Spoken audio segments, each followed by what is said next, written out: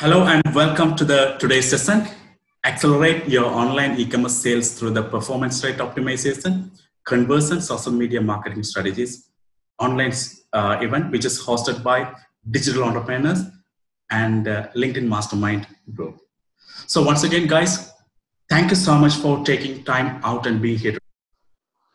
My name is Sharanyan Sharma, founder and chairman of Extreme SEO Internet Solutions. Today we have a very uh, well diversified panel of guest speakers here are specialized in conversion rate optimization and advanced digital marketing strategies, social media marketing, social media optimization, and social media management, uh, the strategies, as well as uh, we have people who are uh, who are really uh, practical experts in particular relevant dom- domains and uh, before we dive into the main session, I'm humbly requesting all the participants to follow the uh, housekeeping things. So just a little housekeeping before we get started. If you have any questions during the presentation, please type into the question box on your right hand side.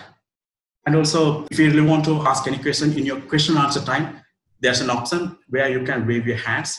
So we will pick the relevant question to the relevant uh, panel speaker and we will make sure that if, you, if your question is something related to the panelist, definitely we will bring it. And when you're raising your question, please make sure you are giving just one question, not bunch of questions. Okay, all good? Perfect. So uh, today's speakers, we have very great speakers over here. Mr. Khalid Saleh from uh, Invesp. He's the CEO and founder of uh, Invesp. He's good at conversion rate optimization strategies and we have Rajitha Dahanayake, CEO of e-marketing eye, and we have uh, Ruthie Senanayake, social media strategist from Blueprint Technologies. And once again, guys, ladies and gentlemen, thank you so much for uh, taking your time to be here.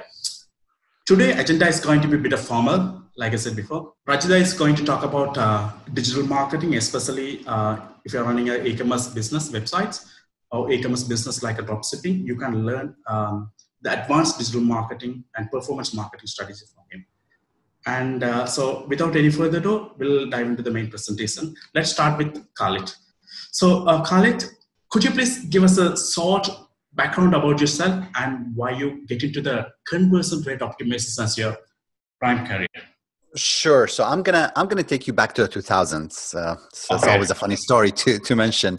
Uh, I used to be actually a an e-commerce software architect, um, and I worked for Fortune 500 companies. So I did uh, American Express. Uh, the competitor of Zoom was actually my last uh, my last assignment. GoToMeeting, go to webinar. Wow. Um, and back in 2005, um, I was one of three architects that helped Motorola build their e commerce website. $35 million investment, huge investment, 120 engineers. For me as a software architect, it was a dream come true because I got to choose whatever portions I work on, whatever portions I assign to, to my developers. Uh, long story short, we, we do development in three months, which is incredible for a full fledged enterprise e commerce website we launched the site. We had 16 servers sun micro uh, system servers so those are beefy servers. And within an hour those servers crash. So I'm, I'm sitting there and i'm like wow like you know we got so much traffic so many visitors come to the site. Okay I, I was worried about the number of visitors who were going to be aware about uh, about the site. So obviously they did not have a problem with traffic. We bring the servers back up. I'm excited. I'm really happy. A month later for the $35 million investment, Motorola had about 10 orders. Um, if you do if you do the math, that is just one horrible ROI. Um, and that's actually how I got started on conversion rate uh, optimization. Um, mm-hmm. We were when we started Invesp, we were the second company in the U.S. to focus uh, solely on conversion rate optimization. Now there are thousands of companies do that, but we were one of the early companies that that focused on that on that field. So over the years, we've worked with both large enterprise clients and we've also worked with fast growing startups so ebay for example is a long time client 3m mm-hmm. ericsson and at the same time i have so many small startups that if i mention the names people wouldn't wouldn't recognize them that's how i got started with uh, with cro and the rest is history as they say okay that's something really amazing that you work with zoom as well The oh, with no, with with GoToMeeting actually, the competitor of Zoom. Okay, so yes. the competitors, yes, yes. That's yes. a very amazing journey. Okay, so let's dive into um, Rajitha. So, uh, Rajitha, could you please tell us a bit more about your company and how did you get into this career? Hi. So I just um, uh, tell you a bit about you know how I got into this e-commerce. Um, my first job was back in 2000. So I've been doing this for about 20 years now. Um, so what happened was like I always want to do something different because if you look at year 2000, uh, e-commerce is unknown in Sri Lanka, and digital marketing is not something that no one is interested in. I mean, I don't think it was it was anywhere. But I want to do something related to marketing and IT. So then I saw this opportunity, uh, this company called Sessionet, that you know they want an e-commerce executive. So I just went to the office and just fall in love with the environment. Uh, I was like, okay, I don't mind uh, coming here and sweeping the office because that was that pretty. I was just after school. So it was just uh, not a planned decision to go into e-commerce. I just wanted to do something different, which actually sort of helped me to get into e-commerce. Uh, you call it uh, e-marketing those days. Um, so what happened was that then started a lot of self-learning, and fall in love with what we have to do because it involves a bit of technical knowledge uh, and marketing knowledge both. Um, so that's that's how I got into e-commerce uh, or digital marketing. And in seven years down the line, then I decided that okay, why why not um, you know setting up a company? Because I think that is one of the best decisions I've ever made. Uh, because uh, you tend to learn a lot of things uh, when when you start um, start experimenting and when you're setting up your own thing helps you to do it more um, so that actually how i got into it. And since then uh, we've been focusing on a couple of verticals. Travel has been our specialty because since day one you know even the first company i joined was focusing on travel for digital marketing. So that helps me to sort of continue doing the same thing. So the success of uh, e-marketing i is basically because of our specialty because we know what we're doing if you do not understand the vertical you are in, if you do not understand what matters to your your, your customers and their customers, because we are B two B, right?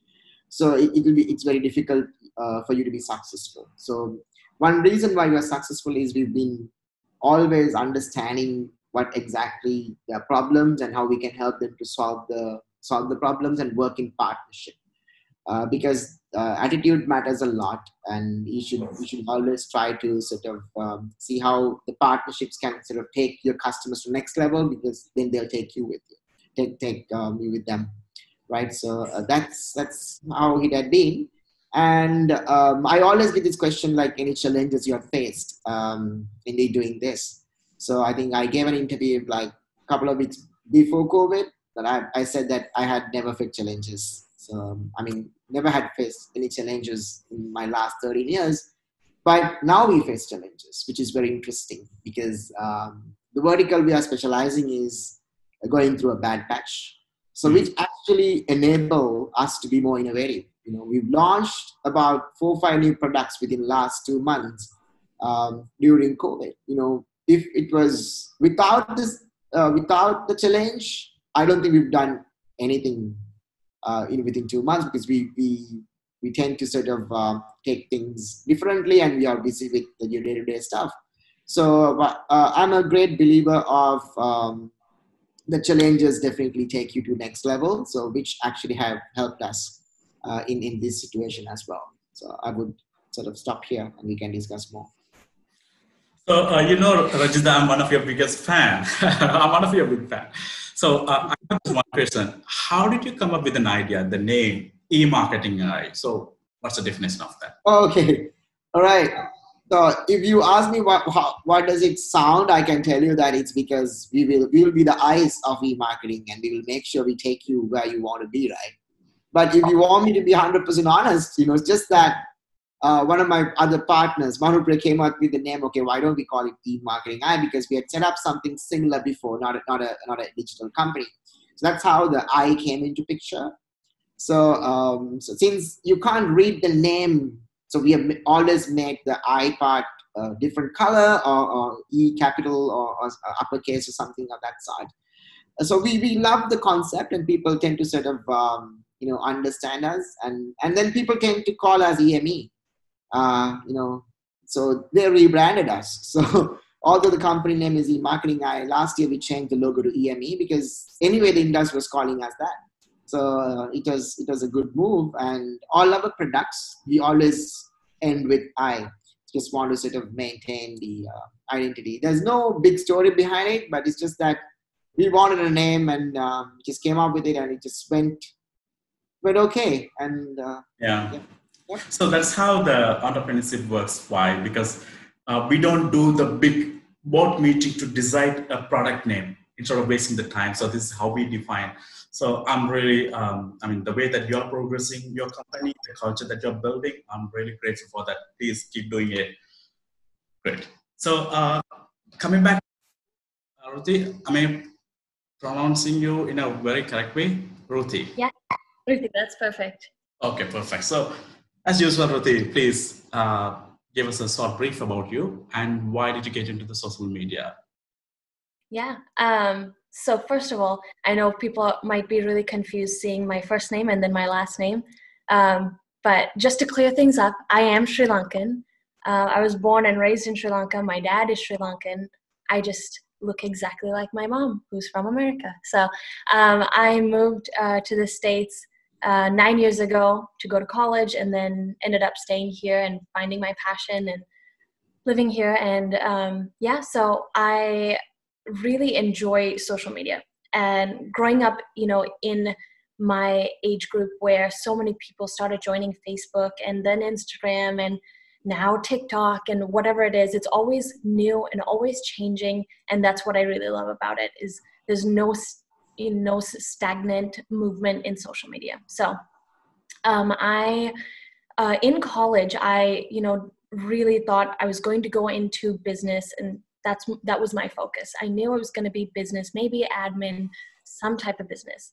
Um, when I was younger, um, I grew up in a huge family. So there were uh, 25 kids in my family.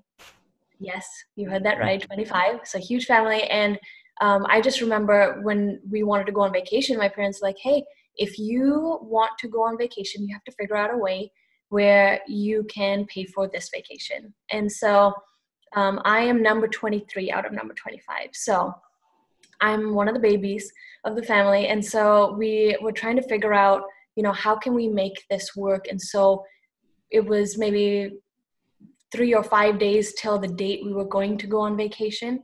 And we all came together and decided okay, we're going to uh, figure out what's the best thing that we can do to sell within this family. And then we decided, okay, that's going to be cooking because Ruthie loves to make donuts, so we'll have Ruthie do donuts. Okay, mm-hmm. who can do delivery? Who can do word of mouth marketing? And so on and so forth. And we split it up and delegated everything to everyone and that's really where my passion for business came about because within three days we were able to raise enough money for all of us to go on vacation which was so much fun. And we learned a lot in that time as well. And so you know coming into uh, college you know of course i knew i wanted to do business. I just didn't know what i wanted to focus my energy on. And so i had a class that i took and it was a marketing class and in that class we had to pick a business and you know do all the marketing for them. And so through that experience i really knew that my focus was definitely going to be on marketing. And so i decided to major in marketing. And then after i graduated i worked with you know lots of different companies. But um, what i really enjoyed working with is the real estate uh, community. And so i have a bunch of real estate brokers as my clients. I've worked um, doing real estate for um, actual marketing agencies within real estate offices. So it was like so much to do with marketing and real estate. But then um, recently I started working with Blueprint Technologies. And so uh, very, very different, uh, totally different uh, look at social media marketing. But I've learned so much over the past um, year working with them and doing a lot of tech marketing and really understanding how to bring out that human side in social media? I think you are a good storyteller because looking at uh, Khalid and uh, Rajitha, so they're smiling. They're smiling. They are like, So you're a good storyteller. I mean, I, I'm still I'm still stuck at the at the 25 siblings, uh, you know, portion, and I'm doing some math in my head. So because I noticed that because you no, it was it's um, a lot of adopted siblings. So my Ah. mom did not give birth to 25 kids. Okay, you're gifted then. you're blessed and gifted then. okay, perfect, perfect. That's a uh, that's a fantastic way. And guys, um, why we are digging deep about the people, why they are choosing a specific career. Say an example when it comes to digital marketing and performance marketing and emotional marketing, or even conversion rate optimization. When you look at this, it's inter- interconnected. So everything it's interconnected why we are asking the people why they choose purposely the digital marketing, purposely the social media marketing, because it's all about the passion. So not everyone is good at analytics. Everyone is not good at numbers. So that's the main reason I'm asking them to give a reason why are you choosing social media? Why are you specifically choosing the conversion rate optimization? Okay, again, so uh, the sound is done. So we'll go with Khalid again. So, uh, Khalid, you know the, the, the conversion rate optimization, the CRO is one of the most uh, vital uh, area that each and every single uh, digital marketers and the e-commerce business owners, they need to focus on it. But when you look at that particular vertical, uh, most of the e-commerce uh, webmasters, they don't have an awareness about how to integrate the CR goals, how to create the goals, how to measure and scale their SKUs. So can you give us a, a little bit of a brief about the, it's not just a basic, the tools that you're using in order to track the conversion. Sure. So uh, th- th- there's two aspects to tracking conversions or even running conversions. Let's talk about like you know, running a conversion program. Um, there's the tool side of things, which by the way, I find to be the easier side. And then there's the human side, which is, uh, I mean, I've been running the agency now for 15, going on 16 years. That's about 100 times harder the, to, to figure out. Uh, in terms of the tools, at the very basic basic level you, you need your analytics correct um, whether it's google analytics whether you know if, if you can go to an, an enterprise side and people get stuck a lot of time on which tool do i need to use and I, I tell them ultimately what you need is you need to identify you need a tool that identifies how many visitors your site uh, is getting and how many conversions conversions generating what are the different channels what are the different sources and mediums that are coming to your to your site. That's what you need to do. So google analytics out of the box a little bit more configuration will give you that that data. In addition to that you probably need a few other things. You need a tool that will be able to record session replays. Uh, so it will record visitors that they're coming through the website. A tool that will allow you to create heat maps uh, on your site uh, so you're able to track how where visitors are clicking how further down the page that they're navigating or uh, scrolling through you need a tool that allows you to track polling, uh, to, to conduct polling, where you're asking your visitors questions. Uh, what brought you to our website? What's stopping you from converting? For those who converted, what persuaded you to convert? So, some online polling. So, that's kind of a set of tools that we, we, should have uh, as CROs.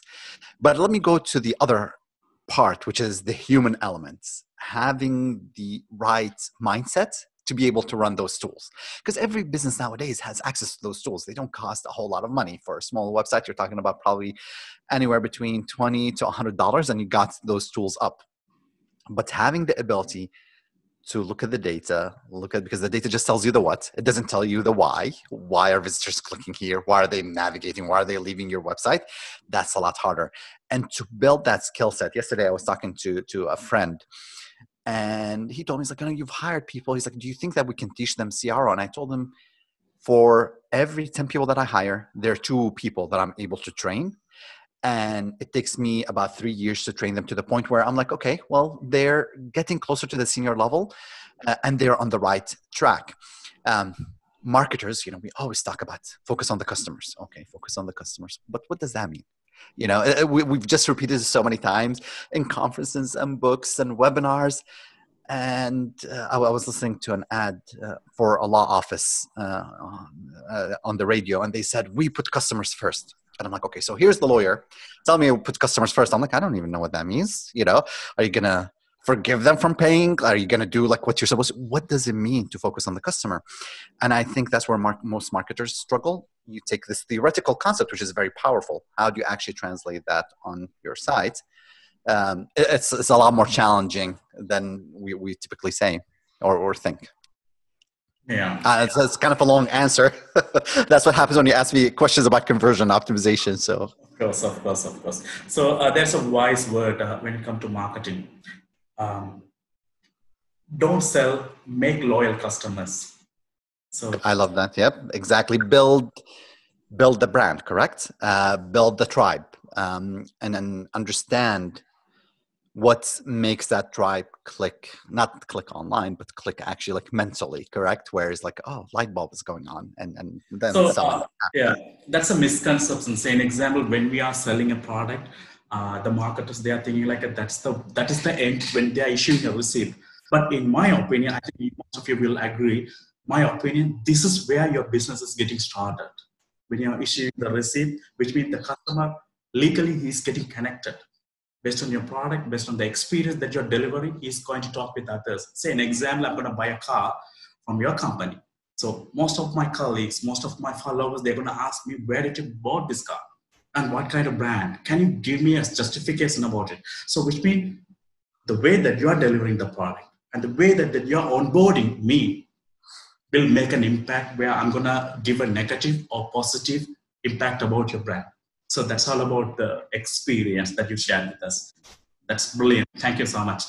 So uh, coming back to Rajda, Rajda, I think um, uh, we do have a very common um, way of approaching the digital marketing uh, verticals.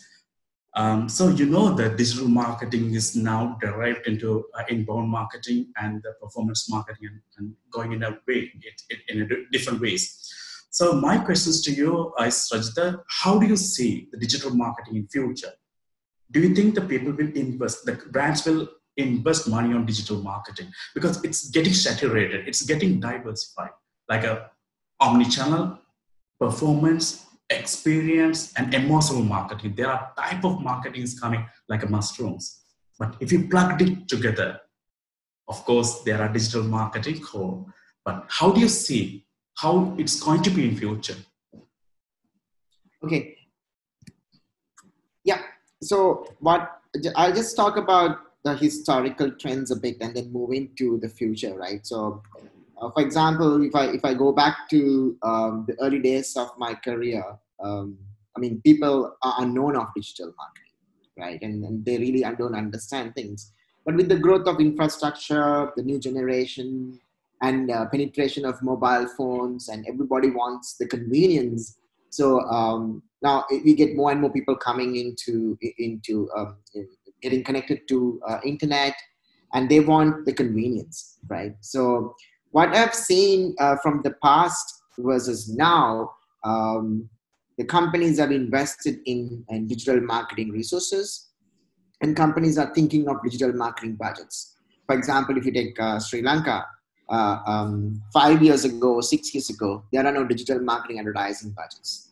You have a marketing budget, and then you know, you know some the IT manager is trying to get something because IT manager was the digital marketing expert, right? You know, because yes. the only person who understood, you know, um, what what is it, right? Uh, could be five or could be seven years ago, right? So then every dollar you spent on digital marketing was questioned, like why you want to do it but no one questioned why you want to put a full page ad on a Sunday newspaper. Mm-hmm. Uh, you know, you have no freaking idea how many people would see it and what action that they would take and what kind of engagement you have.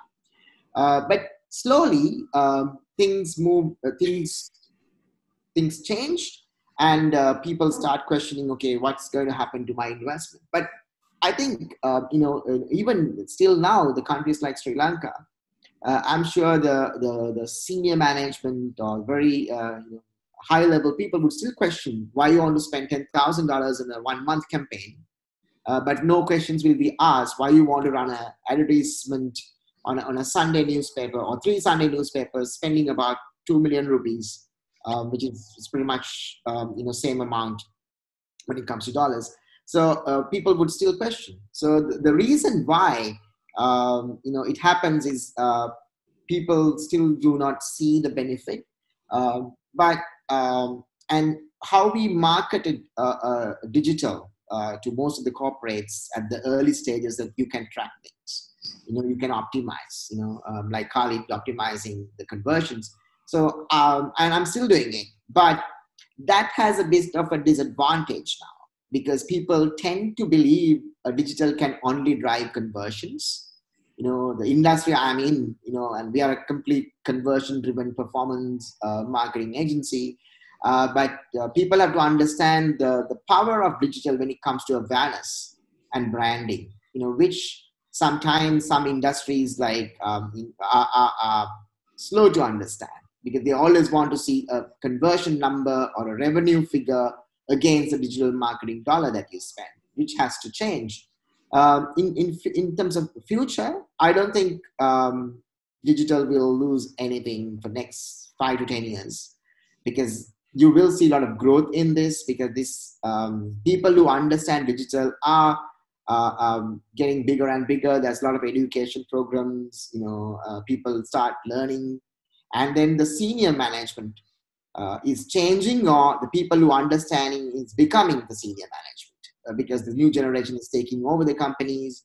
Uh, there's uh, people who understand the businesses understand the power of digital are becoming um, uh, or going into the boardrooms. So i think um, the future for digital is going to be fabulous um, especially the, the, the, current situation the covid uh, situation actually gave a boost because everybody wants to go online and everybody wants to sort of um, you know do things digitally you know you will not have the same bubble that it created but it, it will come down slowly but it will surely uh, surely um, take things uh, forward. So i think the future of digital is going to be you know uh, fabulous and everybody wants to do more things digital uh, not just in advertising but in terms of you know transformation of uh, companies digitally. And of course marketing will play a huge role as well. So i think the future is going to be great but it's it's matter of how uh, the agencies and the experts uh, manage the situation. You know being transparent being honest and, and educating people uh, to make sure that they they are not getting scared of uh, uh, things. Because if if uh, if an agency doesn't sort of being honest you know take the client in the wrong path you know that corporate or the company or, or the person will will will think 10 times before investing you know monies in in in, um, in, in, uh, in digital marketing right? So it's the responsibility of the industry the digital marketers to make sure that you manage the situation properly and and take it to next level. But in terms of the opportunities in terms of the growth opportunities in terms of whether there'll be more budgets budgets coming into digital of course there will be. And um, it's just a matter of how how uh, how we manage it and how we actually show the, the the benefit of it to, uh, to, to, to the corporates and the industries and different verticals. You're right, Rajitha, because I see um, due to the, the current situation, all the, the offline business, the brick and mortar business, they are transforming. They're completely transforming. Even though they don't like it, they like it or not, they have to transform. That kind of situations are happening now. So, uh, let me give you one example, Sharon. You know, since we talk about it, um, Yep. Sorry, can you repeat your question again? Yeah, just I'll, I'll just give you one example. What happened during, yeah, yeah, during the COVID situation, right? So then, um, uh, we wanted to help uh, the government during the situation, like how we can sort of uh, you know contribute, you know, with, with, our skills. So we launched our website uh, called Sri Lanka Stay Safe, and then we want to work with anybody who needs our help. So we help um, the Milco, the Highland, the company, to go online. We launched a website uh, and they got 8,000 plus orders in, in five hours. People wanted to order milk, butter, and yogurt. Can you believe it? I heard about that news. So, so you guys are behind. Yeah, so it's just, okay. I mean, we didn't do any, any, any marketing as such, just that the need of mm. the hour, right? So uh, they, they started to deliver, and there's so much, you know, pressure to them, but mm. that created a new market. So uh, people sort of, I mean, it's not something you want to order online. It's, it's something you pick it up on, on, grocery store, right? But now there's a market, you know, and if, if these companies uh, actually manage it, they can reduce the distribution costs and, and the customers will have convenience of doing things. So you will not have 8,000 orders a day now, but you will definitely have, you know, you know, a, a, lot more than what you used to have, like the supermarkets. So I think it's, a, it's all about managing the situations. Yeah. Understood. So uh, not only the biggest companies, even the salons and spas, they are, ha- they are transforming their business with a queue basis.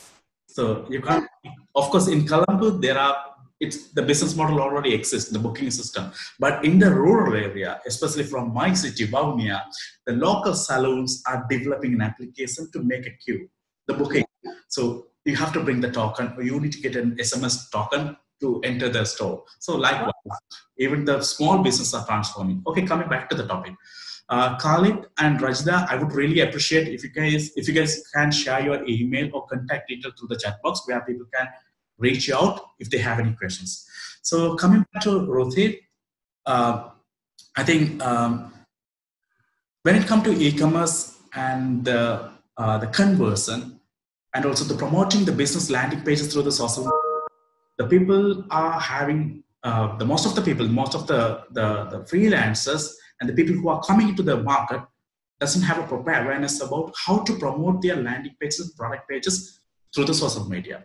So, what do you what's your uh, uh, for these people? Whether we want to create a typical advertisement like a pixel and uh, Facebook ads, or are you suggesting to go ahead with a storytelling, a compelling way of creating contents? So, what's your advice for that?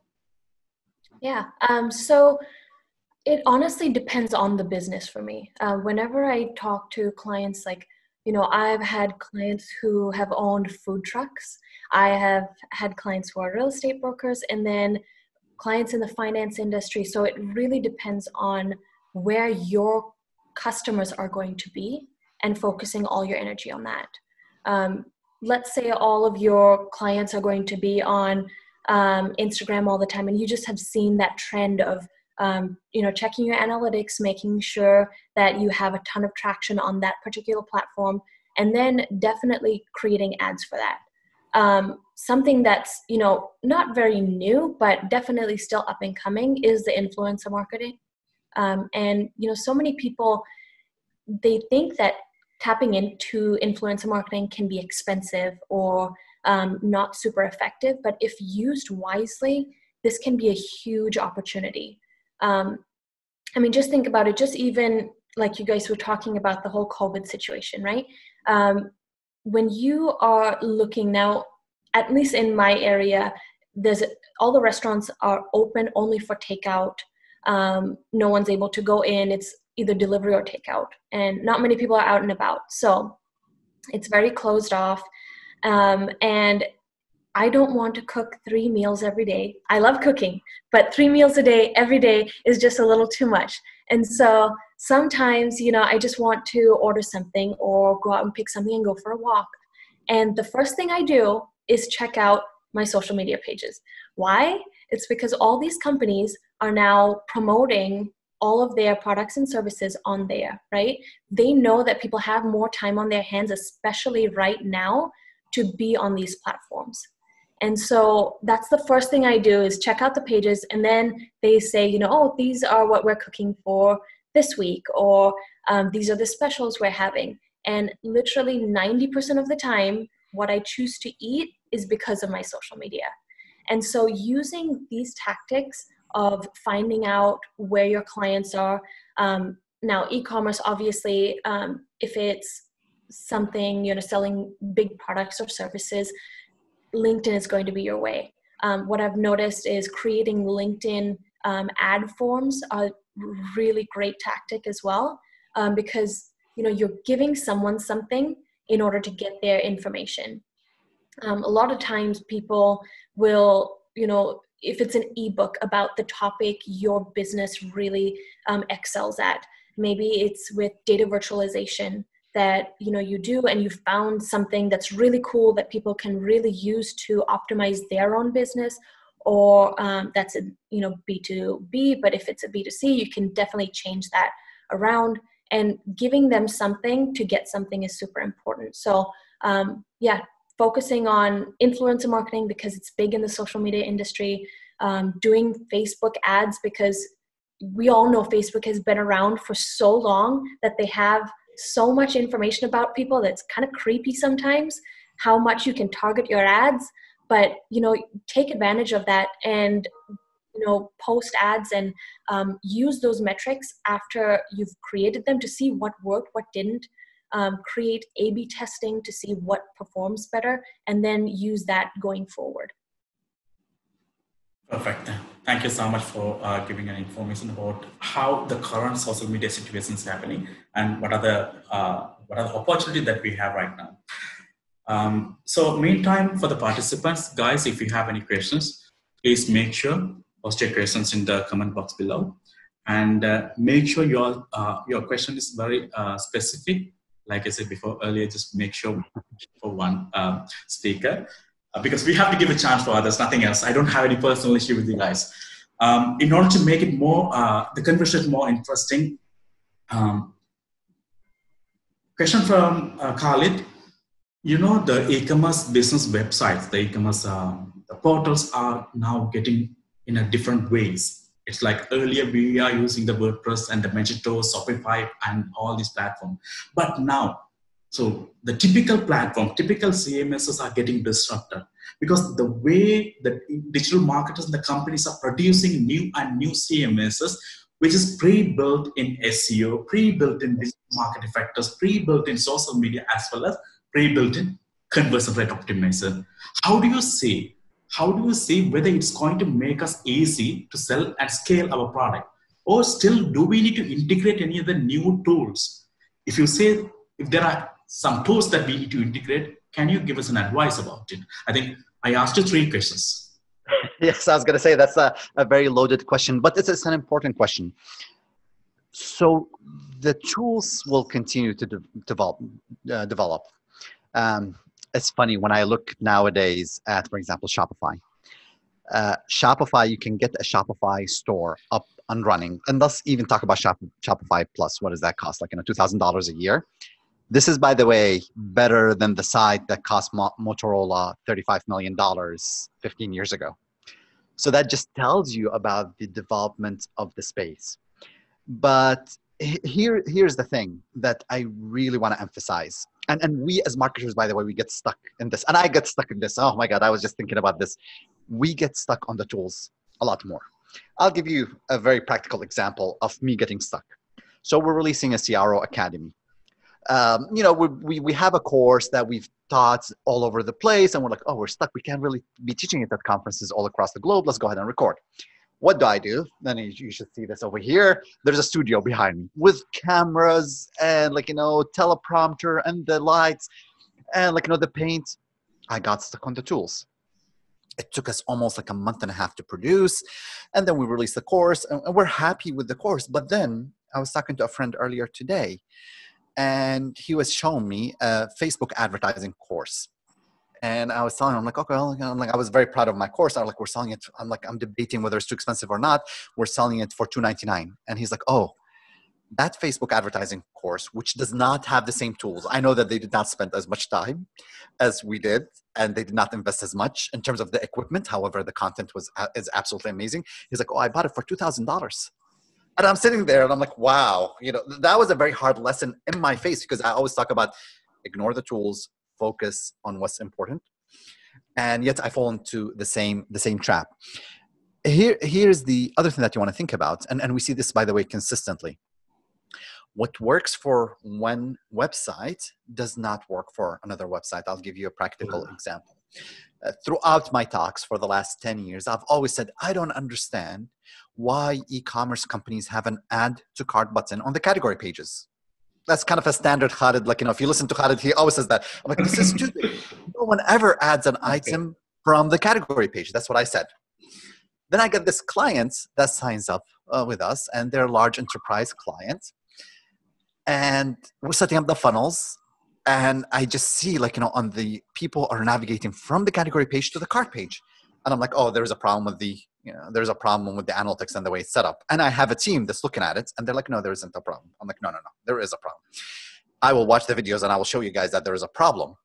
I watch the videos. People are actually clicking on the add to cart from the category page. And I actually made a post on LinkedIn where I said, guys, you know, never say never. Um, I was so confident and arrogant, and visitors always humble you, correct? So, yes, the tools are there, the platforms were always enhanced, and that makes our life easier. But you know what? What that does, it removes the very first layer that we have to focus on as marketers. Uh, I always say, whenever you're trying to optimize for the best experience, there's different layers. The first layer is the bugs. No one wants to order from a buggy website, it's a horrendous experience. Um, the second layer is usability if I click on an item, you know, and I expect something to show up, I, I need that to happen. Those are easy things. Now, persuasion and actually how do you persuade me to to convert is a lot harder. And here's the difference between them, and I'll stop at this. The difference is in the mindset of the visitor between, oh, I can buy from this site. That's one attitude. The second attitude, I want to buy from this website. Second attitude. Third attitude is, I must buy from this website. you see we went from i can buy to i must buy that that transformation is is, is huge Khalid, can you repeat again what you said the three things that you mentioned? Because the yeah. no. Uh, sure. So the, the three three different things in the mindset of the visitor that you want to optimize for. I can buy from the site which is you know you should have that. The second level is, is when the visitor thinks i want to buy from this site. And the third level is I must buy from this website. Okay. Extremely powerful. You get to this I must buy from this website and you become to an, an Amazon. Guess what's Amazon conversion rate? Amazon Prime conversion rate is a 72%. Wow. You know, 72% conversion rate for every 100 people, 72 of them place an order. That's extremely powerful. Yes. So, see, Rajitha, there's a pattern that we can uh, learn convince and convert. Exactly. The convenience. Oh, definitely.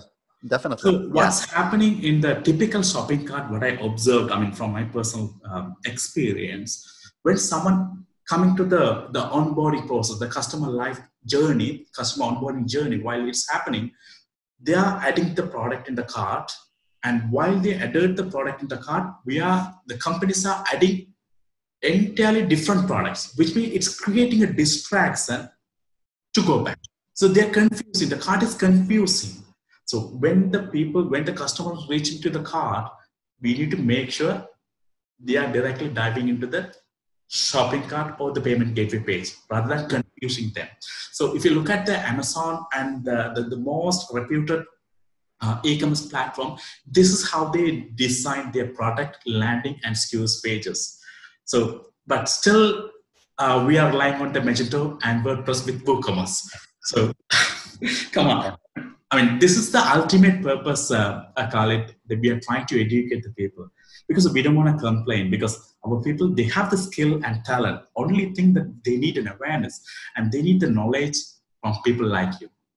Uh, thank you. Thank you. Yeah, yeah and I think, by the way, like, you know, this is one of the very first things that any, if you're a freelancer, you should do this. If you're an e commerce website owner, you should do this don't go through your website because you're used to it, correct? You see it, you get used to it after a little while, and you become immune to the problems. Uh, you either ask your mom to place an order. It's like, hey, we we sell this item, and tell tell her about an item that you sell on your website. Can you go ahead and find it on our and just watch her? Or what I do is I ask my son, who's 12 years old, to go through the process and I always call this the crying game, as in tears come down your your face because you're like, why on earth are they doing this? Why? Where are you clicking? You know, why aren't you like the items in front of your face, but they're not seeing it, mm-hmm. uh, and you you see that confusion on their face, and it's like, you know, why are they confused? And, and it's funny because sometimes we design things, and I look at, I'm like, why are visitors acting this way? Uh, and, uh, we were conducting a study for for eBay, to show how people buy uh, the iPhone 11s. Really straightforward. We bring a whole bunch of people. We're watching them. And the guy is like, you know, doing a search. He's he's a technical guy. We just brought him from outside, and I'm like, oh, can you buy an, an iPhone 11? So he goes on eBay, and the search functionality was broken. That's what we were testing. The guy gets frustrated. Typical user. He goes on Google, searches eBay.com iPhone 11. The Amazon team, the SEO team, is very powerful. So they show a result for Amazon. He clicks on Amazon he's going through the checkout process for Amazon. Remember, we're doing the usability test for eBay. And I'm sitting there watching him and I'm like, what are you doing? He said, well, I'm, I'm placing the order for the iPhone 11. I told him, you're on the wrong site. He's like, oh, really? And I always tell, I'm like, every VP of marketing, every CMO should be, every site owner should be freaked out because it was that easy for somebody to place an order on a competing website. So. See, uh, on the website, we are using heat map to understand what's happening, where they're hovering. But what you said is something really next level. You're, you're just simply putting your son and looking at his face to get an expression how he's going through the order process. I think you're on the next level. Thank you so much for the, the detailed brief about it. Uh, so uh, for the Rajitha, um, regarding the digital marketing uh, situations, um, the, the vertical that we are getting into, advisors, especially for the travel and tourism, because I have a very specific request from our group, uh, from the digital entrepreneur, especially they are asking a question that related to the travel and tourism in Sri Lanka. So what's your advice for that? What are the things they need to focus when it comes to post-COVID-19? I mean, can you just give us three guidelines? Okay. Uh, but I just want to, I really want to add something what Khalid said because um, uh, he mentioned that, you know, when you look for one product and you try to push, I think you or Khalid said like, you know, people don't want to, people get confused and distracted, right? Uh, I'll start with that and I'll connect that with the, the hotel examples that we, we, we see all the time. What happens is when you're too greedy for business, you lose everything you have. So, for example, you know, in, in hotel booking engines, you know, if you take the hotels, um, the most uh, profitable way for them to generate revenue is from their own brand website, right? Because you don't pay a commission to OTAs and you don't have to give lower rates to uh, the third party travel agents. So the best way to get revenue is uh, is using your brand website. So what happens is um, uh, when when when you want to get bookings, you try to sell everything else as well. You just don't want just the not just the room booking, but you want to sell the excursion, you want to sell the spa, you want to sell the wine bottle during the process of, of someone making a booking, right? So what happens is, so I want to make a booking, so I just go and select the room, and before I complete, they put another screen in between and say, okay, do you want this? Do you want the car? Do you want that? Right? And I was like, okay, why not? I try to add it, and then it looks expensive, right? But you go to OTA, and then they just sell the room, and I just finish it within three three clicks, right? So um, my advice that if you if you want to be successful, look at Booking.com uh, because they do things right. Not a not a fancy nice website, but the process is very very easy. Uh, so what happens is what I what I gather from that is if you confuse the customer with too many choices, you eventually lose them, especially mm-hmm. in an online world because you don't have much time. Everybody is making quick decisions, so don't confuse the customer. Just be clear on your offering and make sure that um, you, you you get it absolutely right. You know, you want to sell a room, sell the room first, and you want to upsell, do it later, not in between right? So that, that's one thing we can look at. So if you want me to add anything on post-COVID for travel and hospitality, right? The first thing you need to do right is um, to get your platforms right, right? If it's a hotel uh, or if it's a travel company, you get your platform right. I mean, make sure your website looks good. Now you have all the time in the world to look at the content, um, you know, look at um, the look and feel of it, and make sure you have necessary tools integrated to it right? That's number one, get, get the platform right. Number two, look at the statistics uh, or, or, your analytics platforms and making sure that you understand um, you know, what customers do on the website. Because if you take hotel websites locally and internationally, we work with over 1,000 hotels around in, in the region. Uh, maybe most of the customers, like you know, when we when they come to us, the first thing we do is we sit and discuss about the analytics and making sure that the analytics is implemented properly. You know, they, they can track the bookings, they have the event tracking, they have the, the funnel, and everything is properly done. So make sure that you have your analytics set up properly, right? So that's the second thing. Because if you talk to 20 hotels, right, I'm, I'm sure that 15 hotels do not have analytics properly. Or if they ask, do you have analytics? Everybody will say yes. But have you done it properly? Everybody will say yes. But look at it, it's not done properly. So you need to make sure you get that right. Because um, you need to make sure that every every visitor comes into the website. I think Khalid's uh, specialty that you optimize the conversion. Don't don't try to attract more people to your site but get get get the get the best from your existing clientele. Okay. So uh, what what hotels should do is get the platform right get the analytics right and make sure that you do your homework. You know on on social media platforms uh, will play a huge role in in the current situation um, because people spend a lot of time on Facebook and social platforms. So tell them how beautiful is your destination. You know, tell them you know what actions you've taken. You know, tell, talk about the the the, um, the, environment, the excursions, the locations, your hotel, uh, and experiences. Do videos. Show them what you are doing to sort of um, you know take take things to next level when when hotels are open, right? Um, and be ready with uh, with um, your digital marketing strategies. Uh, because what happens is um, everybody loves social media. You know, I know that's great. That's at very upper funnel when it comes to hotels. You know, hardly people would see your ad on social media and, and make a reservation. That percentage is small, but it's becoming uh, bigger and bigger now. But your revenue is with search. Ruthie might not uh, like what I'm going to say, but it's you know, social media definitely helps. It's, it's like a great influencer. But if you look at who brings revenue on a brand website, the search brings about 70% to 80% of your total online uh, bookings and revenue, right? So you need to make sure that you are ready with, with your strategy for search, right?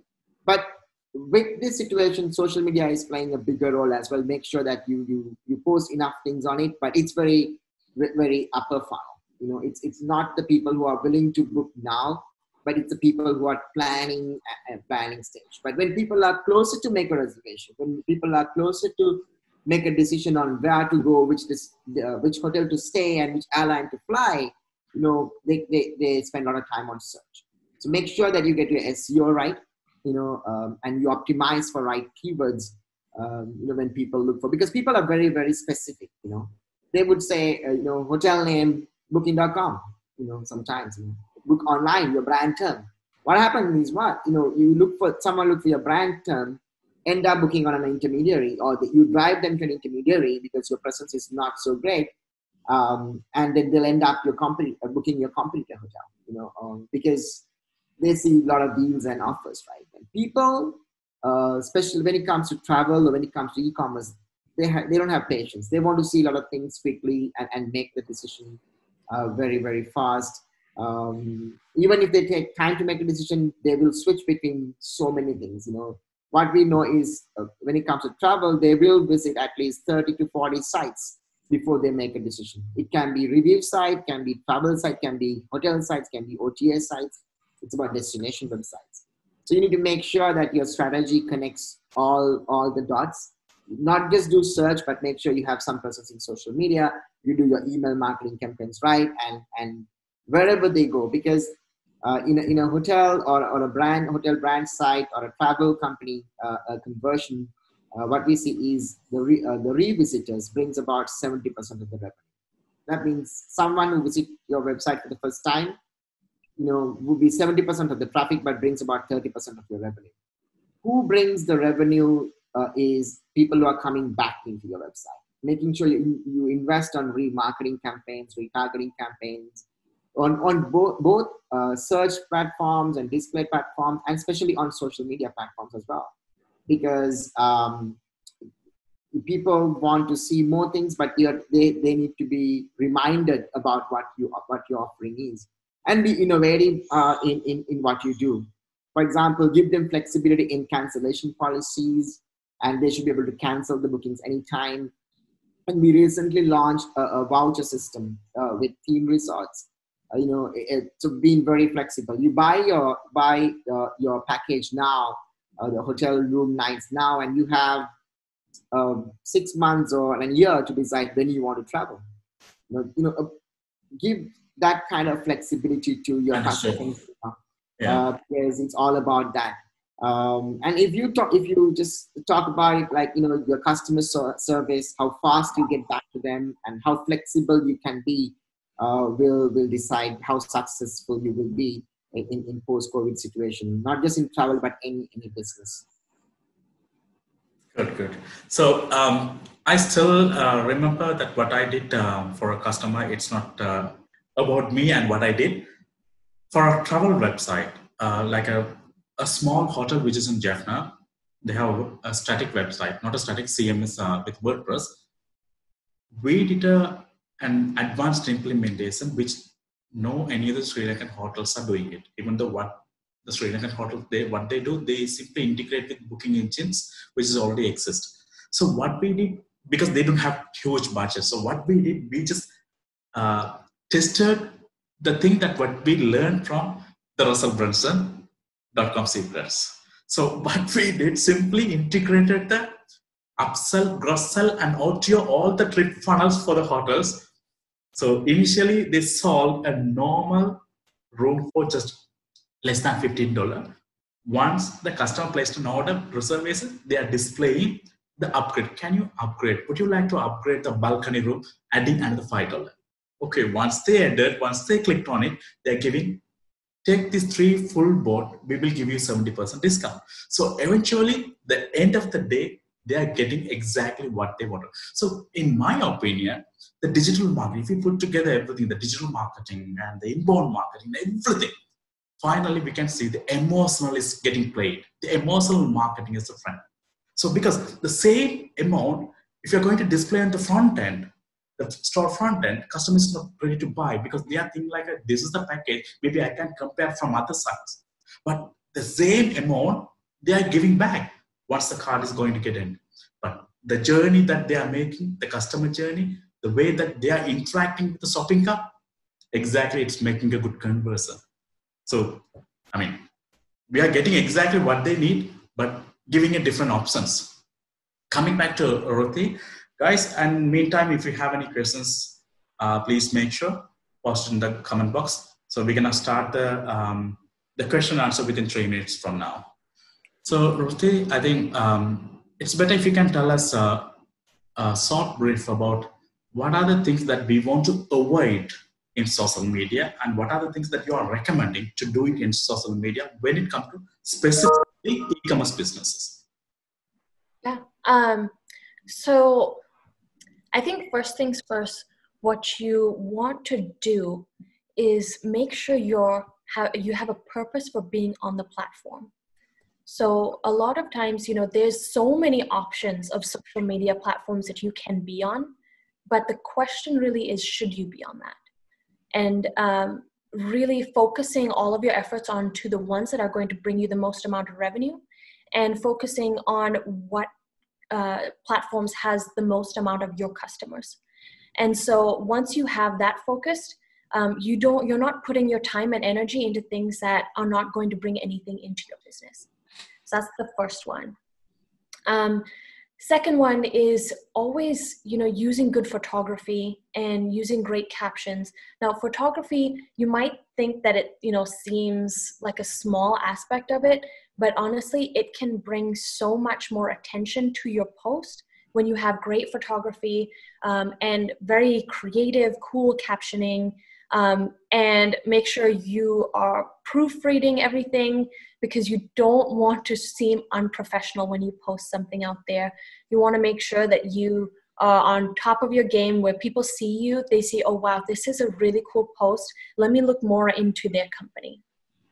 Um, and then, you know, follow other brands and companies that you really like um, because that's where you can get inspiration from. Now, I'm not saying copy anything, but it's great to get inspiration whether you know you just take a couple uh, minutes or maybe an hour a day to focus on okay what is out there in the market? What is my competition doing that i need to level up and step my game up?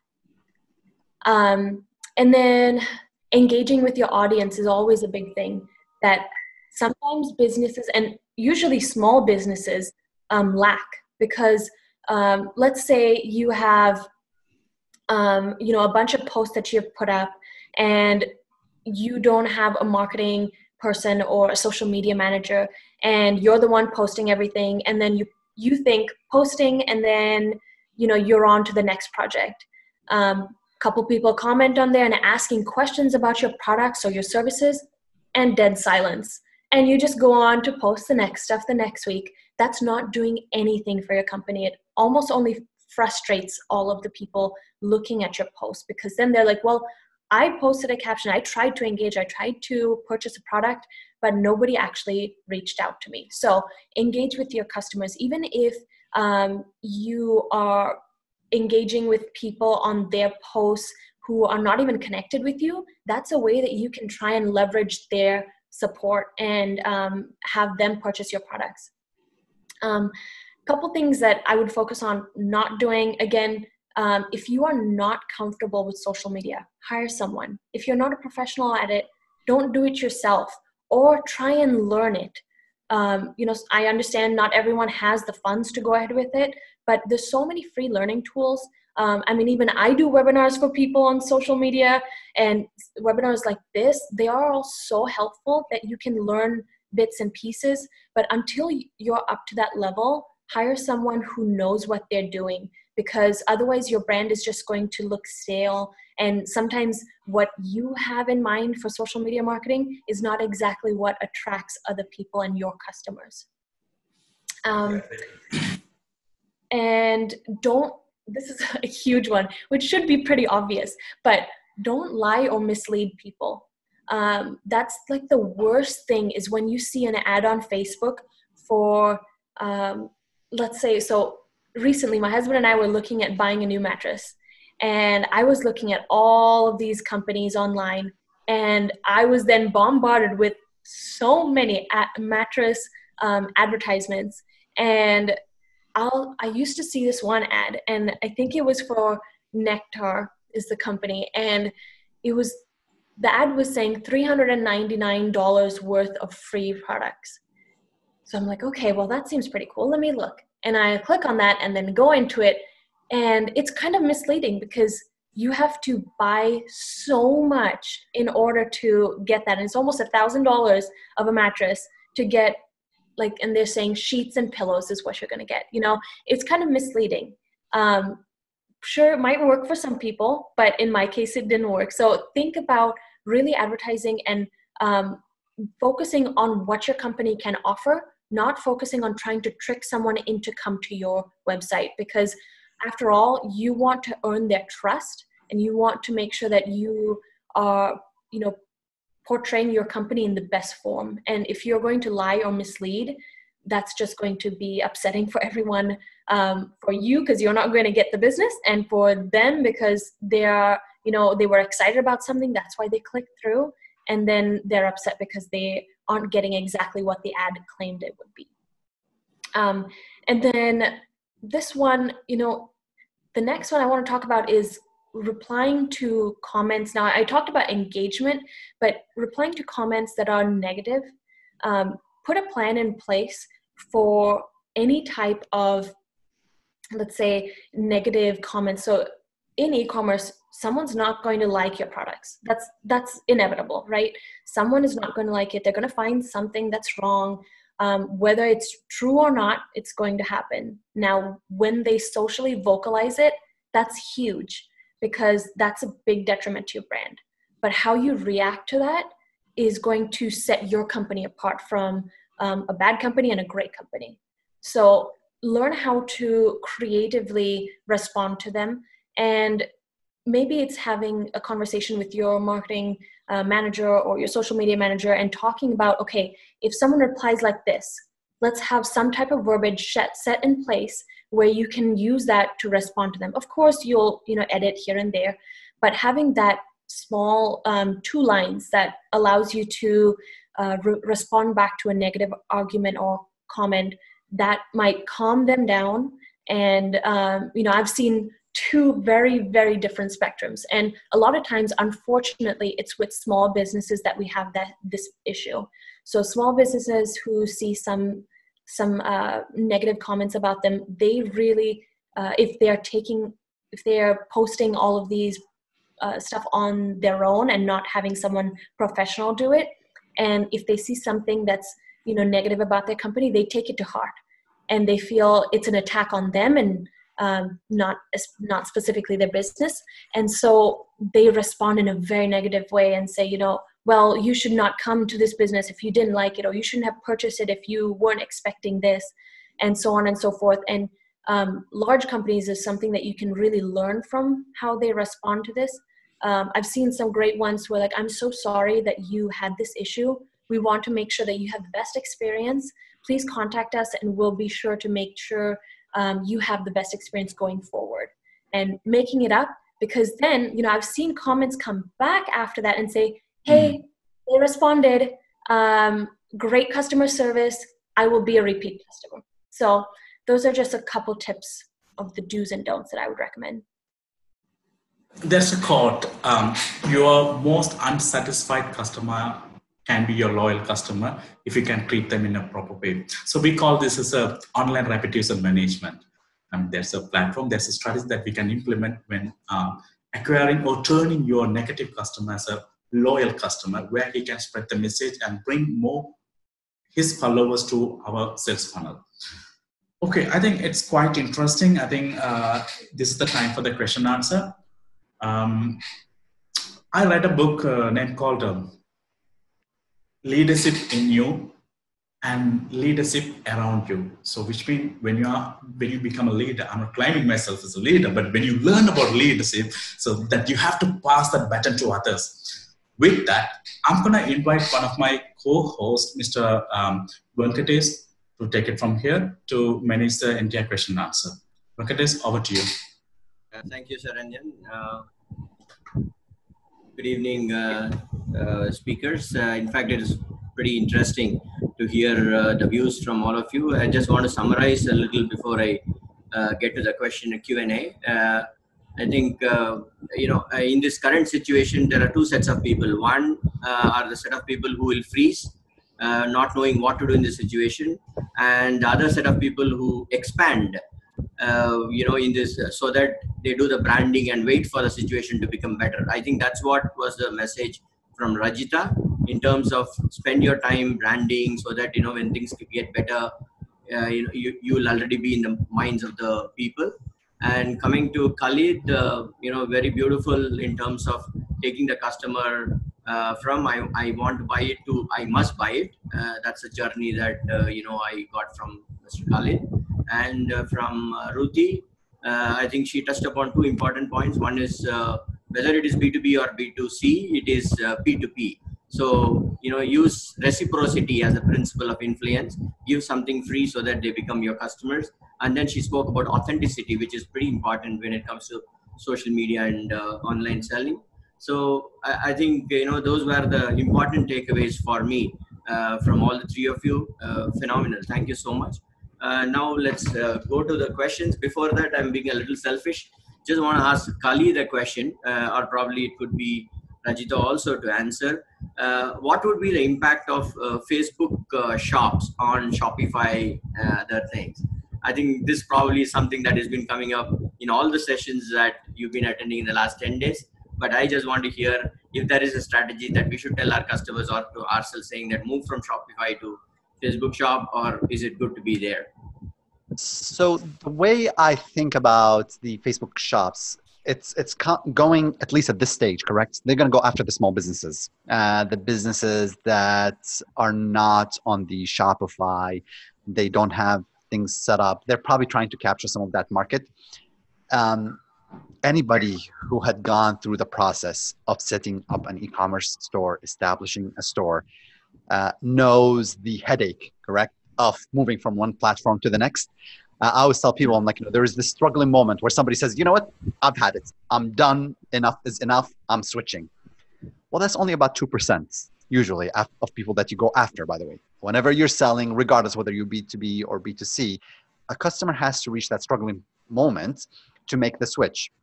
Um, and you might educate people and i think that's what facebook of course they have the they have the platform they have the people on the platform um, now would i make the switch and the migration i was talking to a couple of uh, established brands on the smaller side you know they're doing about five six million dollars annually uh, and I love what one of their uh, CEOs said. He said, "Oh, great! Now I have to think of yet another place for my products to be listed on." And I'm like, "No, we're probably gonna to hold off uh, for a little while.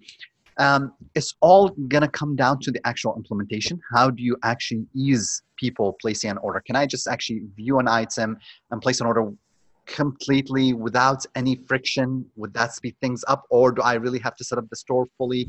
Um, I, I, think to be kind of a sit and watch at this at this point. Fantastic. Thank you so much, uh, Khalid. Uh, I have one question from the tribe member uh, that says, what will be the impact of augmented reality, reality on digital marketing and e-commerce? I'll probably split this into two uh, just to keep all the speakers engaged. So, uh, Rajitha, can, can, I mean, can, can you talk about augmented reality impact of uh, AR in e-commerce?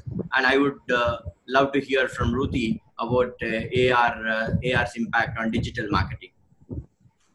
I think can I, can I interrupt you guys? I mean, I know I know Venki is taking over, but uh, to make it uh, something relevant, uh, Rajitha, it would be great if you can take off the digital marketing. Venki, please don't get offended because he's highly related to that. I think Ruthie or Khalid is the ideal people for the uh, the augmented reality. Venki, please don't get me wrong. Focus about the topic. I just want to make sure the the, the guest speakers are not getting offended. Thank you. So, Rajitha, you want to you want to take a stab at it? Yeah. You want me to do it? Yeah, please. Okay, sure, sure. Okay. Yeah. Uh, so what what I believe is um, all these are tools that would help the overall process of uh, making things easier for your consumer uh, to help in the conversion, right? So I think these are great tools, the new things are happening. Um, but I don't think everybody should go and embrace every new thing that is coming, um, you know, because it might make your life a little bit too complicated. So my suggestion is like, look at your basics first, get the basics right, and then see what these new things can add value to take it to the next level. It will definitely help you in a way to make the process easier, you know, have an assistance, you know, you feel great about it, but is it going to disturb the, the, the, customer in the overall experience? Do you really want someone to be there? You know, all of it. Um, so what my suggestion is look at, get the basics right, uh, and uh, and then see how these additional tools uh, can add value to uh, the entire process. Fair enough. So Khalid, your views? I mean, I think so, see this is one of the uh, one of the benefits or side you know results of COVID nineteen it sped up certain things that we were thinking, oh, it's going to take five to 10 years for us to seriously consider. Uh, one of them is augmented reality, contactless delivery. Um, you know, well, we, we used to talk about uh, order online, pick up in store now as uh, BOPIS. Now we, like, you know, order online, uh, curbside pickup, correct? Like, it changed the mindset uh, because consumer behavior changes. Now, I was talking to to, to Max Al. He he runs Conductrics uh, in New York, an amazing uh, statistic anal- statistical analysis company. And you know, he's like, he's like, I always get these questions about like statistics and A/B testing. He's like, the reality of it, ninety-eight percent of the people don't even have the basics right. He's like, forget about the complexities. Like, I see this analyst who's asking me, and I look at their site, and he's like, he's like, you have so many other things broken. He's like, I love that they hire us. He's like, but they have the basics. So, really going to um, to Rajitha's point that let's get the basics. Yes, there are companies who have the ability to invest, and they should invest. Correct. If you're at that level, you definitely should look at augmented reality. But that's, I, I dare say, that's probably 5% of the market's uh, place. The other 95% you probably want to get like you know there's many other things that you want to check before you get to uh, you get to that point. Okay fantastic. So there's uh, yet another question that has come up uh, which is when is cro right to use in business? And what are the strategies for an uh, to implement cro for an upcoming business? Okay. So uh, um, here's the thing. Um, cro in general the way i, I think about, about it is four different stages. Identify problems on your site. Everybody should do that. Um, you really need to know what are the usability bugs and even conversion opportunities on your website. Prioritize those items so you know exactly how you can fix them correct? Okay i mean uh, typically we, we run a project and we can identify oh anywhere between 50 to 200 300 uh, issues on a website when it comes to conversion.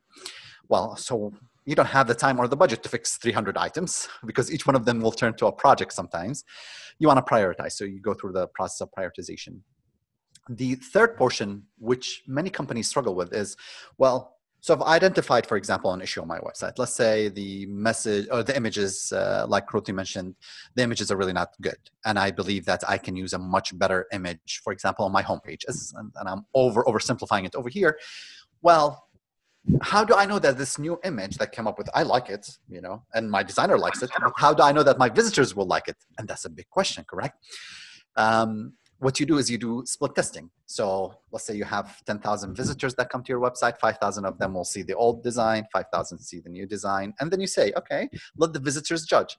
Those 5,000 that viewed the original design, how many orders did they place? Those 5,000 that you know viewed the new image that I like, that I think is really amazing, how many orders? And you compare. So this is simple, but now let's get into one complication. And, and most people skip that in order for you to deploy any type of A B testing that is meaningful, statistically valid, because that's ultimately what you are doing, you need to have a minimum of about 200 conversions per month. And this is extremely important. Lots of people skip over that. They're like, oh, I only have 30 conversions. I want to do A B testing. And I tell them, no, you cannot do A B testing.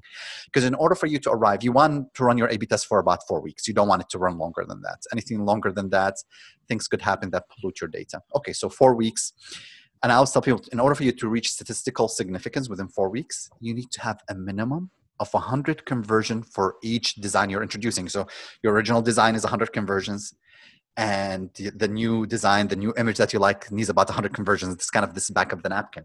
So at a minimum, you need about 200 conversions. Now, if you're just starting out, most most websites we talk to don't have this, those 200 conversions. What they end up doing is they say, oh, well, no, we'll test with 30 conversions or with 40 conversions. And they think, oh, based on my software, I have a winner. And then they like, look, for sure I have a winner. And they take that new image and they put it on the site. And then they look at us and they say, hey, my sales did not increase. Nothing happened after I deployed it. Well, yeah, because the statistics are flawed. So you need to get to the point where you have a minimum of 200 conversions a month to do A B testing. Now, remember, there's steps in the process. I talked about identifying issues, about prioritizing issues. You can even deploy new designs, but you cannot test them if you do not have enough conversions. Um, for most of our clients, we don't even talk to new businesses unless they've achieved nowadays about 500 conversions to 1,000 conversions a month. If you have less than that, we tell them, listen, figure out your social media, figure out your search, your paid search, drive more visitors to the site, and then we'll talk. Uh, conversions comes, but you need to have the traffic, you need to have the conversions or, in order for us to have that conversation. Uh, so it's a long answer, but it's good to, for people to know. No, I think that's how you need to answer that so that you know it's useful for the people who ask this question. Thank you so much. And uh, is a brilliant question which is, uh, what can SaaS companies learn from the e-commerce industry? Um, Rajitha, can you take this? What can SaaS companies learn from the e-commerce industry? I think you know any any any companies can learn from e-commerce because I think what happens in the future is people will not go with um, services or products which needs um, capital expenditure. Yes. So they don't want to invest on setup fees or anything. So the future will be that uh, there's a lot of opportunity um, for um, for customers to sort of go ahead with services, service providers or products that which charges in an ongoing basis, right?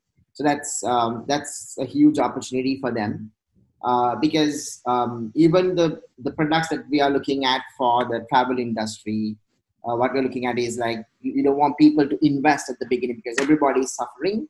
So they are looking at you know how uh, how um, the people um, you know how, how we, they can get them to start using the products and you know share um, the, the benefits you know in terms of partnerships. Because uh, nobody wants to spend a lot of money on investing building new products now. They really want to sort of start using the products but they really don't want to um, you know invest uh, in, in, building from scratch. So there's a lot of opportunity for them uh, in the current situation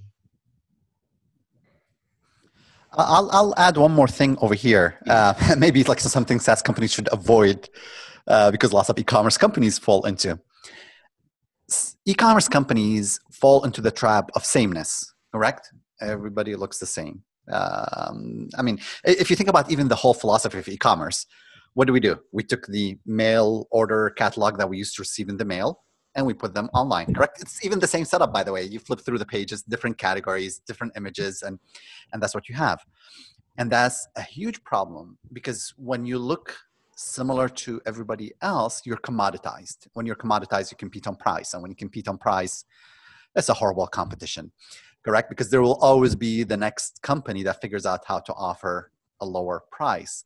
So figure out how you create a, a, unique experience as a SaaS company. Figure out how you create a unique unique experience. It's easy for people to copy your design. It's even easy for people to copy your your copy, your web copy. It's difficult for them to copy the experience. So how do I create a unique experience? And by the way, e-commerce companies, especially in the smaller space, I always tell people, I'm like, if you're competing against Amazon, you're offering the same thing a tough competition, man. And we have some of our customers. I mean, eBay. We compete with Amazon, and we're always testing, trying to match up with what Amazon does, and it's like you know, it's a huge battle. However, if you're smaller, guess what? You have the flexibility to move really fast. Uh, you can be very creative. You can do things that the big guys are not going to be able to do. So you're able, whenever you receive an order, to record a video from your customer service guy and send it to the guy who placed an order you know, I was like, oh, I get only 1500 orders. I'm like, well, you know what? Okay, it takes about a minute to record, and you already have about 20 CSR uh, customer service reps. They can record a video. That's a different experience. You don't expect to get something like that. It's standardized. So things that can really set you apart as an e-commerce or even as a SaaS can be very unique. So the rule should be whether it's SaaS or e-commerce, never lose a customer again. Correct? yes, we talk about conversion optimization, CRO, but really it's customer retention optimization. Different CRO as well, but kind of a different mindset. Okay, brilliant. In fact, uh, my, ne- my next question is a very fundamental question, but it, this one keeps coming again and again. You know, in uh, whenever we get a new tu- new tool, you know, but we keep going back to this. But is email marketing effective? Uh, I, I, think you know this you would have answered some thousand times, but we still want to keep listening to it every time there is something else that comes up. We, we believe that you know whether this will work or not. But I want to know your view and I would uh, allow the speakers to decide who would want to take it, or probably I would want to hear from all the three people in terms of what do you think uh, about email marketing? Is it still effective? Uh, Ruthie, you want to go first, or yeah, yeah. sure. Happy to hop in. Um, yeah. I have seen email marketing be super effective on my end, at least. Um, you know, depending on what your what your product is, um, it's mainly just to get the word out. And it's super important especially right now because everyone you know doesn't have the opportunity to be walking around and seeing full on live advertisements as you walk throughout um, you know wherever you are in the mall or whatever it is.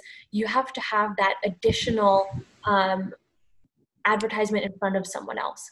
And even if someone you know the, i think the main thing with email marketing is again being intentional with what you're sharing not oversharing because you don't want people to unsubscribe.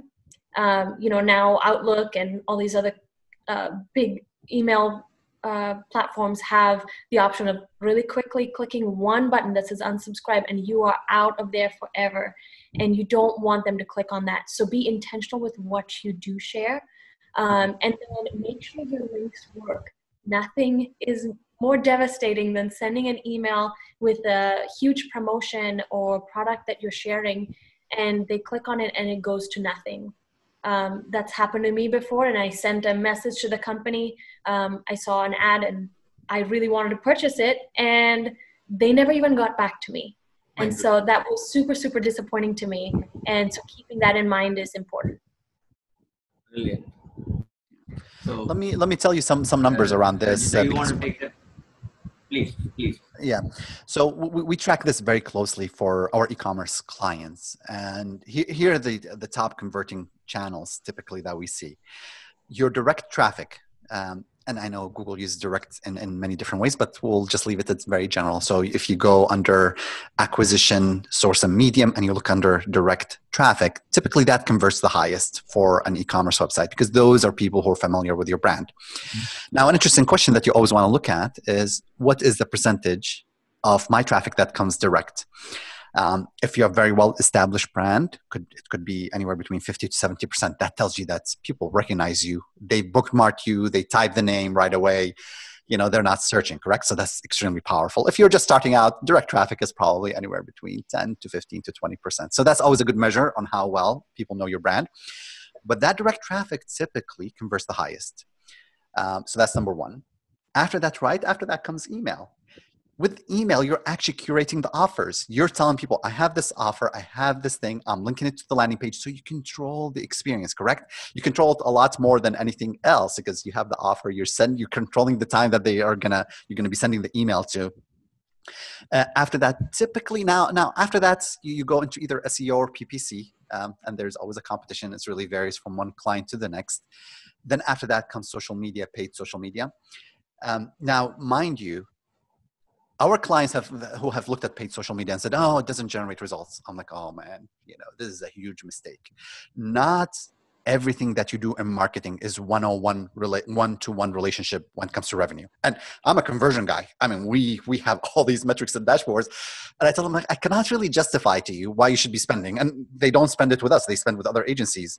I tell them but i know here here's something i know for a fact because i've seen this over the last 15 years. You turn off your paid social media and guess what happens? Your sales drop. And they're like, what happened? I thought social media was not generating any sales. Well, guess what?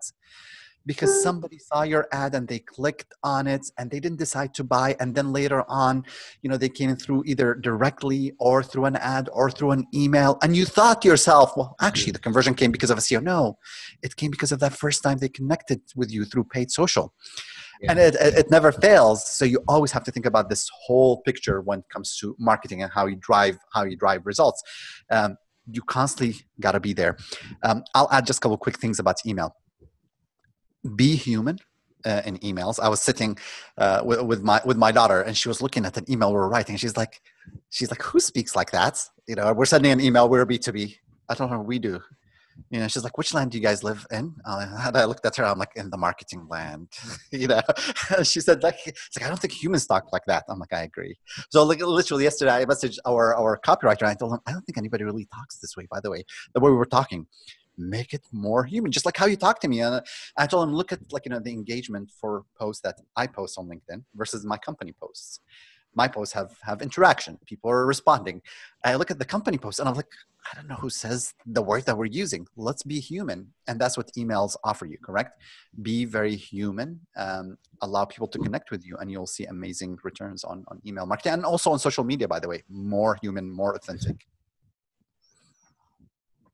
Okay, that's wonderful. Uh, in fact, uh, uh, there's one question that is directed to Rajitha, which says that uh, is there any option to connect travel agent to TripAdvisor platform? uh, I'm not 100% sure on that, but I think there are uh, there's a section that people will always sort of comment on related travel products. You can definitely look at it. But there's another platform specifically for travel and tour companies. Um, I mean, if you write to me, I can actually send. that. I can't remember what it is right now, but uh, I can I can surely get back to you. There's a, there's a platform that you know all the travel agencies get listed and get comments and feedback uh, from from the potential markets. Um, I can actually find it out. Um, there's something, but I can't I can't remember right Please. now. Yeah. But I want to add two things about email marketing. So that is like the most abused online marketing strategy, um, you know, ever, uh, because um, you do a lot of spamming um, um, using email. But if you do it right, that would be one of the best best strategies that you can use if you use it effectively. Um, but um, the popularity has gone down because there's you see a lot of spam, um, uh, spam email marketing campaigns uh, happening around. Yeah, isn't isn't it amazing how many people are buying email lists right now? Yeah, and emailing people yeah. To say, "Hey, we care about you." I'm like, really? Why are you spamming me? Why on earth? Or, or maybe I've subscribed back in 2010. Uh, you cannot imagine, like, you know, every day in the morning, unsubscribe, unsubscribe, unsubscribe. I'm yeah. like, it's just not creative. And I'm like, leave me alone, man. I haven't heard back, uh, heard from you in 10 years. Now you're emailing me to tell me we're with you during COVID. I'm like, okay. Um, yeah. I have a quick Sorry. question. Sorry, um, I had a quick question that had come into me privately. So I don't know if you want me to share that at all. I don't know if it was an accident sent to me yeah, privately. Please. Yeah, so the question that came in was I was wondering how you can compete with people like Kim Kardashian and Kylie Jenner. Yeah. Now that's a very tough one. Um, but I, I mean, I like the term. You know, if you can't beat them, join them. You know, um, of course, not every company is going to have two hundred fifty thousand uh, dollars to pay for one social media post. Um, but that's where micro influencers come into play, right? You sometimes um, people don't even need products; they just want someone to connect with to get their brand out. Um, so, for an example, like my husband and I, we have a blog that we do a lot of our travel stuff on, and um, we went to so we came to Sri Lanka, I think last no two Christmases ago, and we decided to do a couple different trips around uh, to and we wanted to stay at hotels that we had never stayed at before because you know growing up we would always go to the same places and we just wanted to branch out see what's new. So we reached out to hotels and said hey we can put you in our blog like um, are you able to either give us a discount to stay there? Now that didn't work out which is reasonable you know but um, after which we had put the blog together we had put an awesome travel video together um, we said hey we're going to be posting this and your hotel is mentioned in here. Would you like to do a giveaway? We don't get anything out of it. It's just for you to gain followers and for us to gain followers. And one of the hotels reached out. I don't know if you guys are aware of like cantaloupe hotels in sri lanka uh, but they were like yeah we'd love to do a giveaway with you. So we didn't get anything except for um, extra followers and um, the hotel got a ton of traction because of all these people commenting we had over i think like 2500 entries into wow. um, and get a hotel stay i mean it was almost nothing for this hotel to give two nights away. But now all of this traction toward them, and it's all because of a blog that a micro influencer did. Now I wouldn't even consider myself an influencer, but um, you know, you just you get the point where just keep an eye out on micro influencers in your community or there's a bunch of you know travelers that come from other countries that have done quite a bit of work and are willing to um, post something about you, post a photo or post a, a video with your hotel or whatever it is, your products. And all you have to do is reach out. You know, they can say no, but, um, and sometimes they'll reach out to you and just give them a chance because you never know what that um, personal touch can do to bring your brand out. I think the next question is uh, probably in continuation with that or similar to that how does content marketing impact on small business probably to reframe that what is the impact of content marketing uh, usage of content marketing for small businesses uh, you know is that good to do? Uh, what are the ways to do that? Uh, ruthie can you answer content marketing? Yeah i'm just trying to get a, a grip of what because that's a very very broad term. Um, so I think, you know, one thing that I always tell small businesses is keep consistent. Um, because, especially because, you know, small businesses don't have a ton of marketing spend. But what you can do is put together a marketing plan and every let's say every monday you put together two hours that you spend on your social media and you decide to plan all of your posts out do the you know graphic design yourself on canva if you need to or or hire a graphic designer for you and put together all of these and be consistent with the content that you're posting uh, again be consistent and also um, make sure that you're promoting stuff that are very valid and um, good for your company to be promoting and not just anything just because you want to get something out brilliant brilliant I think you also told that you need to be authentic before. So authentic, being authentic and consistent, you know, are the uh, key for content marketing for small business. I'd probably ask one la- one last question from my side. It'd be a lame question. Uh, a lot of uh, funnel uh, builder uh, software that is uh, coming up everywhere. does small businesses really need a separate website, or can they just manage with the funnel? Oh man, I, ha- I have to like you know I have a different view on this one. So we we do quite a bit of content marketing. We do quite a bit also of white papers and ebooks, and we drive about 100 to 150,000 visitors to our sites every month, uh, all organically. By the way, people searching for us, searching for like you know our ebooks, and one of the things that we've done in the past is lots of the funnel correct? Like you know people coming in they fill a form and then we put them in a funnel and then we send them emails and we have a sales team that follows up.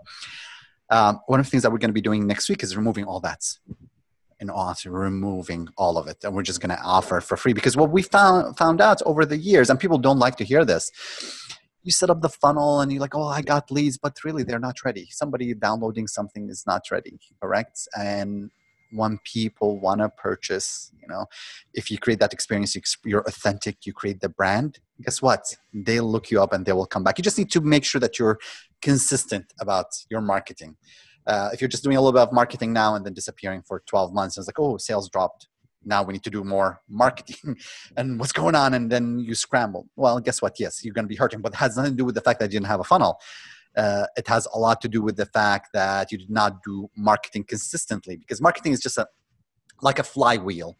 Um, it takes a while to move correct? There's a lot of effort to move it but the minute it moves and you're consistent about it guess what? People start recognizing the brand and then they make the decision to come. So um, like i said it's just a bit different approach and philosophy but that's that's at least for us that, that's what we we're advising clients with right now. Okay. I uh, I have a question. Uh, this is uh, probably Khalid uh, could uh, answer. Thank you, all of the panelists. You know, it's an awesome uh, session, Rajitha and Ruthie. Uh, CRO seems to be a little bit more expensive game, and for someone to outsource it, so if you don't know what you are getting out of it, so what kind of measurements and KPIs maybe maybe I don't know whether I should be asking you guys because you get business, and then I'm asking from this side. How do we measure in terms of uh, the money we spent? Yeah, I mean, CRO is, is a very expensive, by the way, uh, of all the different uh, marketing activities. So you can you can get away. And uh, let me talk about U.S. prices, and then I'll mention like an, you can get away in the U.S. with hiring a decent SEO company you know, it's now now we're not talking about your average, but actually like a good one. Um, probably you'll spend five to seven thousand dollars a month. Sounds expensive, but okay. You can PPC is about ten percent of the spend, minimum of three or four thousand. A good CRO agency uh, in the US is probably at least about twelve to fifteen thousand dollars a month. Tremendously more expensive. Now, the premise of CRO is, oh, I'm going to increase your conversion rates. And I've seen this consistently, and I've seen it throughout the years where people come, they do a whole bunch of testing we're testing, we're testing, we're testing, and theoretically we're increasing conversion rates. And somebody comes and says, "Hey, when we started the project, our conversion rate was at two percent, and right now is at two point one. But your testing has shown me that we've increased conversion. All these tests are winners, and we should be at least at three percent." Um, and and the only answer that we have to this so we go through lots of like you know, statistical analysis where at the start of the project what we do is we keep a copy of the old websites that's kind of a standard in our projects and it's horrendous uh, to do because they keep the copy and it's not indexed and it's on an old domain. And then six months down the line we tell the client oh you know your conversion rate yes is at 2.1 guess what? Here's what we're going to do. Now we're going to deploy a side-wide test between your old sites and new sites.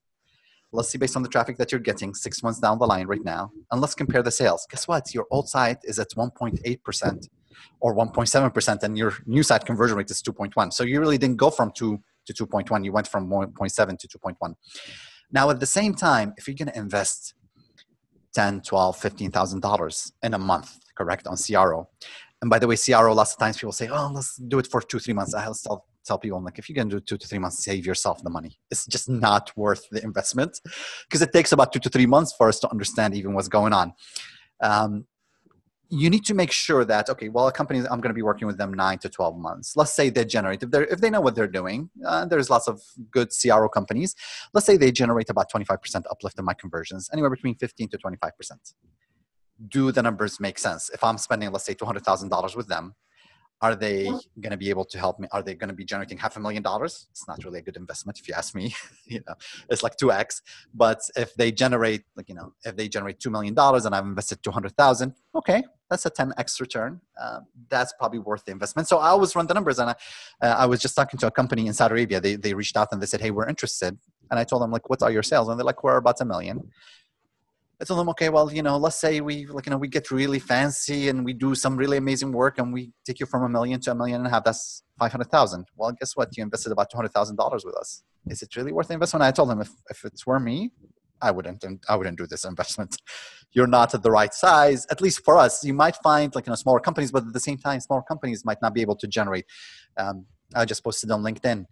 On average, we implement 12 A-B tests for our clients in a month uh, we're spending about 240 hours of development, pure development, not even analysis, pure development, another 100 hours.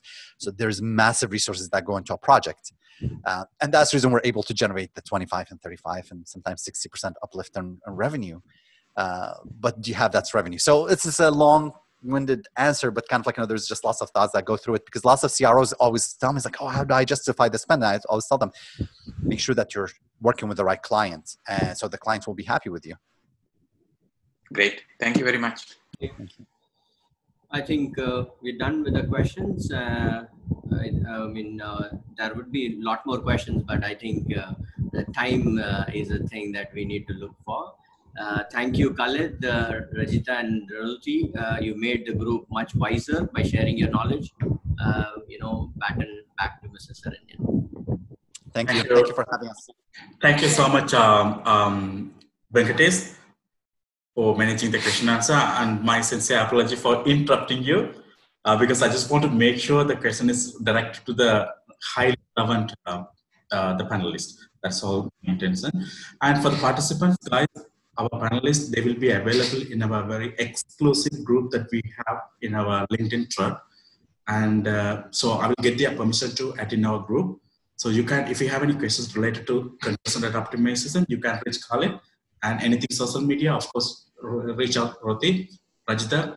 So he's available for that. And in case if you have any questions, specific questions about the, I mean, Rajitha personally, I received this question from our group asking about the travel and tourism. We can can we ask that question to Rajitha? But to in order to maintain the time, please. So he's available in our thread. Maybe you can raise the question, or he already shared his contact detail. Please reach yeah. out.